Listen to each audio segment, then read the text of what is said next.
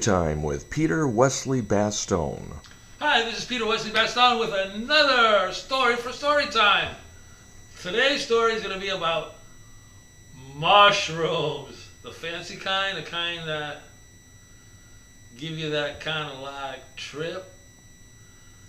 When I was in Los Angeles, I had a friend, Patrick English, and trumpet player. He worked for uh, film industry, Cannon Films, and he was making a lot of money. And I was working in, as the grocery manager over for Quinn's. And every tax time, when we got our tax returns, we'd go and every other year we'd treat like each other to um, sushi. And we'd eat tons, we'd spend hundreds of dollars on sushi, just eat sushi all night long.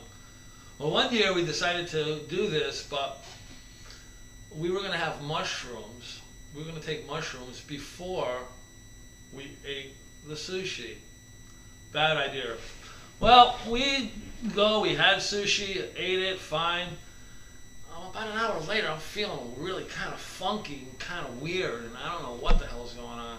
I'm tripping now. I'm in full blown, I'm in trip world. Hollywood is one big glitter, and I'm just freaking tripping.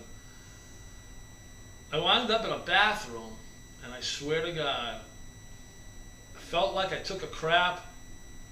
I looked down and I saw a little piece of tuna swim away. and that's the end of that story.